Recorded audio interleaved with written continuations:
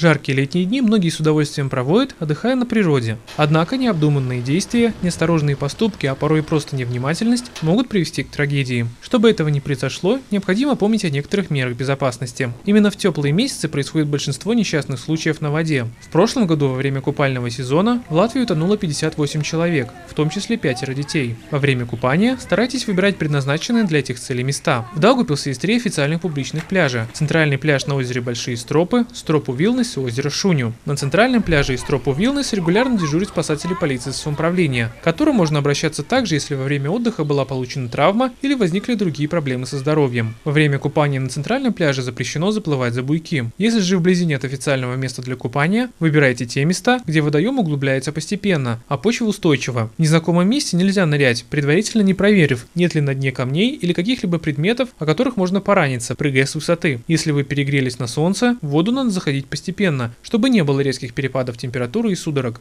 В реках необходимо выбирать место с самым слабым течением, вблизи которого нет водоворотов и прочих опасностей. Абсолютно несовместимо с отдыхом и воды употребление алкоголя. Согласно данным Государственной пожарно-спасательной службы, большая часть людей тонет, будучи в состоянии алкогольного опьянения. Напоминаем, что употребление горячительных напитков в общественных местах Даугавпилса, в том числе на пляжах, строго запрещено. Особое внимание во время отдыха у воды необходимо уделять детям. Разрешать им плескаться и плавать можно только на таком расстоянии, на котором взрослые взрослый его хорошо видит и в случае необходимости может моментально подоспеть на помощь. Малышам, которые не умеют плавать, удержаться на воде помогут только специальные жилеты. А вот надувные матрасы, круги и мячи годятся только для игр, к тому же под строгим надзором взрослых. Если вы видите, что кто-то тонет, помните, спасание утопающего может угрожать тому, кто его спасает. Поэтому прежде всего необходимо оценить ситуацию и свои возможности. Безопаснее всего бросить с берега веревку, которой привязан спасательный круг, мяч или другой плавучий предмет. Незамедлительно вызовите спасателей, позвонив по телефону 112. 2. Осторожность надо проявлять не только на воде, но и при розжиге костра и мангала. В Даугавпилсе это разрешается делать только в специально оборудованных местах. Когда пикник окончен,